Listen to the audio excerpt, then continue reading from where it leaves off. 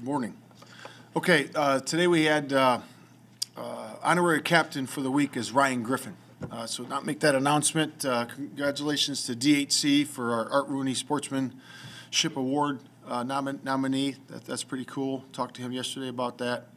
Uh, Today's schedule adjustment, you know, so we're going to do a, you know, because of the, the physicality of the games that we've had uh, leading up to this point, uh, we just feel that, you know, working with the sports science guys uh, on our team and talking to everybody involved, we're going to do a walkthrough uh, practice today, uh, similar to what we did uh, for the Thursday game. You know, so we'll do a walkthrough. We just had meetings today, uh, walkthrough uh, today, and then tomorrow we'll have a bring them in earlier because Thanksgiving, shorten down practice, and then get them out after, after the practice there. But uh, we've adjusted our meeting schedule to- to accommodate that.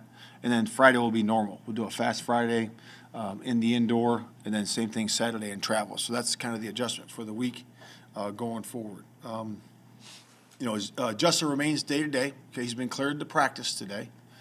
Um, And again, since it's a walkthrough, the estimation is, is that he would be limited in practice. Um, So that's where he is right now. And again, we'll assess that as we go through the week. Um, He's feeling pretty good, and we'll see, we'll see where it goes from there, um, day to day. Um, So uh, with that, I'll open up to questions. And what are you looking for throughout the week to determine if Justin can actually play on Sunday afternoon? Yeah, just how he's feeling, you know, what the medical staff is saying uh, to him and to us um, every single day. And obviously, we got to put that out every day. And then uh, how he's feeling, you know, how he's feeling when he's moving, when he's throwing, um, and when he's just going about his business of operating as a quarterback. If he's, if he's day-to-day today, isn't it, doesn't it make sense that he would be at risk on Sunday of aggravating the injury? I mean, Um, yes and no. I mean, we'll, we'll see where it goes. We'll see where it goes. I mean, we'll see tomorrow will be more of a fast, faster pace. Uh, we'll see when he's moving full speed, um, you know, during that time, um, during the drill work and stuff like that. So we'll, we'll be able to tell. So day-to-day, he would not be, he's not a candidate to go on injured reserve then? No, no. There's conflicting information out, out there about what the injury actually was. Are you able to clear up, was it dislocated or separated or? Yeah, I'm not going to talk specifics, uh, but again, he was cleared. He was cleared in a limited fashion today, so. What, what kind of, in terms of protecting that, that shoulder, what kind of risk is there by having him, if he were to play, go forward? I mean, is he, by being cleared, is he at a point where you're not concerned about re-aggravating it or that kind of thing? Yeah, we'll see where it goes today. Uh, we'll see where it goes, and then when uh, we'll get to tomorrow, we'll know more. And I think by Friday, we'll know more. You know, I think uh, it's it's kind of those one of those things where you work through the week, and we'll see where it is, and hopefully, we're getting better and better every single day. But, but in terms of if you were to play Sunday, is he at enhanced risk of re-aggravating that and dealing with that beyond just one game? Uh, well, I, I think whenever you hurt something, and you always have a chance to re-aggravate it. You know, it could be you know an ankle, a knee, or whatever that might be. I mean, that's always that's part of the game, right? Anything about, y- you said we'll see how he is today. Can you learn anything about his health from a walkthrough, or are you just talking about just the passage of time? We'll just see if he feels better twenty-four hours from now? Yeah, I mean, it's, I mean, during a walkthrough, you do movements. You're moving around. You're handing the ball off. You're, you're, you know, going through the simulation of running a play. I mean, so we'll see how he feels doing that, and then we'll ramp up tomorrow and ramp up, you know, more on Friday. You have to wear, Level of, of also trying to make sure that Trevor is in, in, prepared to play if needed, and juggling those two things over the next three days. No, yeah, that, that's an important piece to it for sure. You always got to do that. Your backup's always got to be ready. Um, you know, Trevor's been outstanding. You know, in the meetings.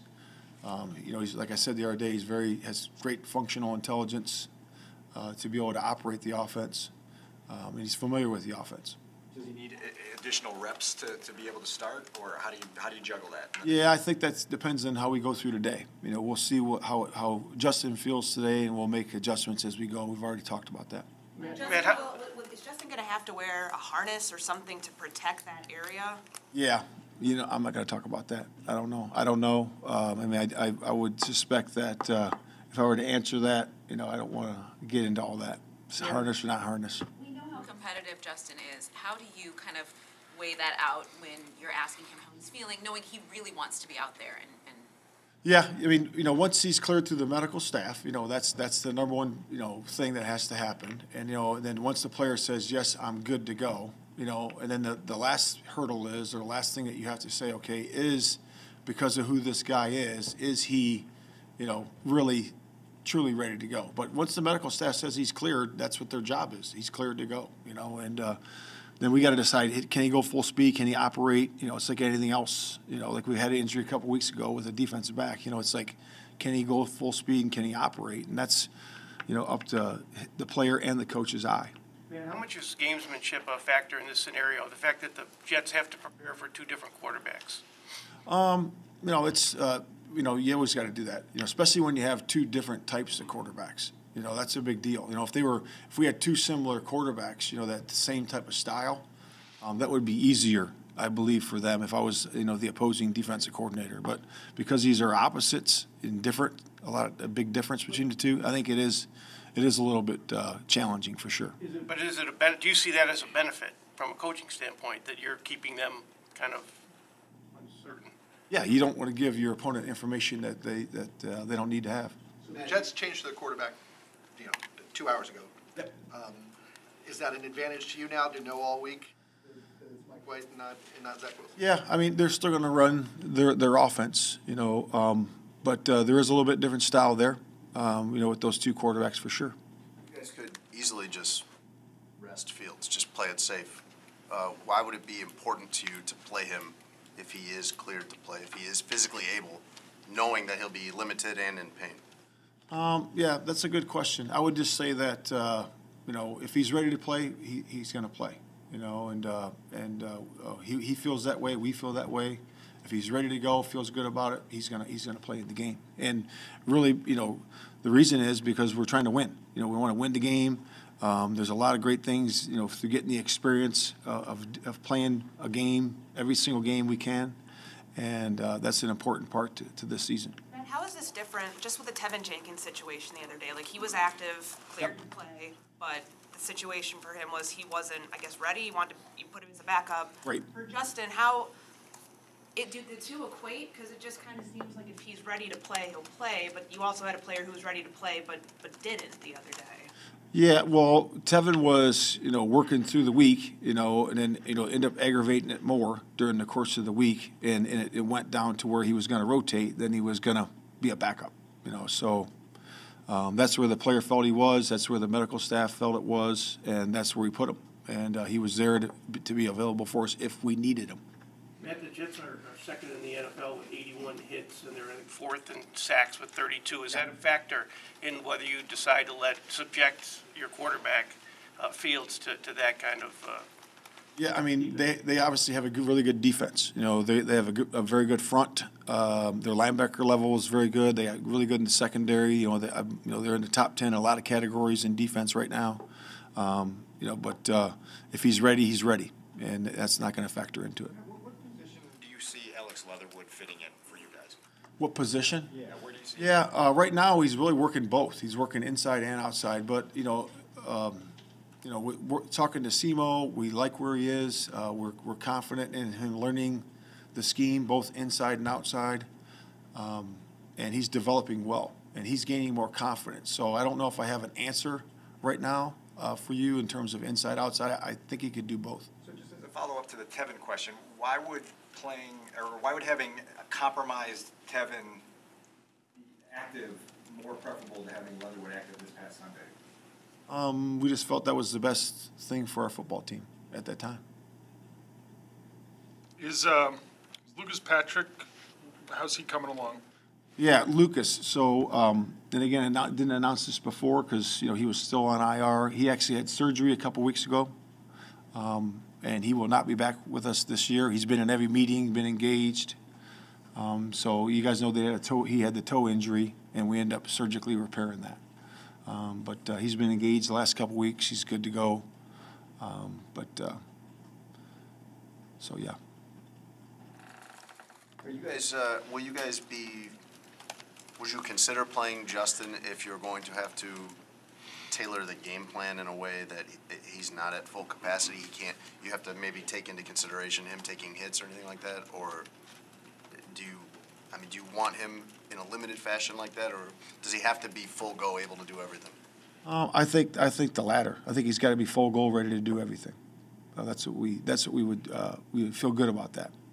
What- What were the conversations like the last 48 hours in the building about how to handle this, knowing that Justin is a very valuable asset uh, to the organization this year and going forward?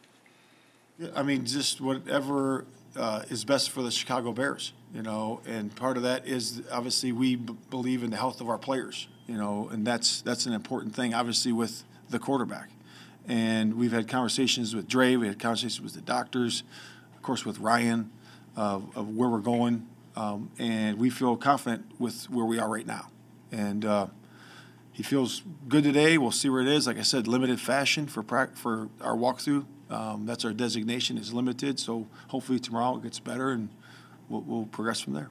Does the- Does the decision come down to a, a pain tolerance thing at, at the end, like for Sunday? Yeah, I think part, that's part of it. Of course, if I have an injury on something, you know, can I tolerate the pain um, with it and then move forward and function as a quarterback? And I think that's with any any uh, injury. Could be shoulder, could be a you know a mild sprain to the ankle or whatever that might be. Impossible for him to play if it was the right shoulder? Would it be impossible? Yeah, I mean, like, wrong shoulder would be. Um, I don't know. It's a good question. I mean, we'd have to wait and see. We'd have to see where it is. But uh, I mean, yeah, good question. Who's final say on that decision? Is that something you have to clear through Ryan, or do you have full authority to make that as the head coach? If he plays or not? Yeah. Um, that's a group effort. It's a group effort. Like I said, there's stages to it. You know, the medical staff has to clear him first. You know, the player has to go function in practice. Um, he has to feel good about his performance and being able to function out there to be able to operate. You know, and then last last hurdle is that, you know the coaches have to look at it and say yes, he is functioning at a winning rate to be able to function in the game. You touched on it, uh, you touched on it a little bit, but what does change for the Jets with Mike White at quarterback? What is? What changes for the with Mike quarterback? Uh, just a different style. He's, you know, the, uh, the first guy there is really, has the ability to escape. Um, um, not to say that Mike doesn't, but, uh, you know, he, he really can escape. You know, he can move, he's an athlete, he can, he can do the keepers, you know, a lot of things on the edge of the defense. Where Mike is more, uh, you know, really good at passing, you know, he's more of a pocket guy. So, uh, that's really just the biggest change or difference between those two guys. If Ryan, if Ryan, if Ryan Poles doesn't want him to play Fields and you do want him to play, does he play? There's a big argument then, I would say. I would say that, no, I would say that, um, I would say really, uh, that, uh, we have disagreements like that sometimes, you know, and we would just have to put our heads together and, and, and make a common sense decision on that, which is a lot of things. You know, when we, we, we make decisions on certain things like we did with, you know, Teven last week, you know, we just got to make the thing that's for the best for the player and where the player feel, feels where he is, um, performance-wise. So you'd want to kind of err on the side of caution, right? Because if there is a disagreement, you'd rather, this is your long-term quarterback, your guy you hope to be here for many years, so why mess around with one week, right? So you'd want to probably err on the side of caution. Yeah, I would just say that, you know, if we ever feel that a player is gonna go, go out there, you know, and, and, and harm himself, obviously, we, we're gonna make Aaron decide of caution, for sure. You know what I mean? We're not gonna, we're not gonna put a guy out there in harm's way, um, and, uh, he doesn't feel good about it, for sure. Uh, so we wanna do what's best for the organization, but also best for the player. Thank you.